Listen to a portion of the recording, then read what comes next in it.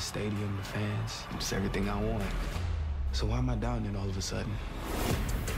Not everybody It's the golden opportunity we're giving you. Thought you'd be grateful?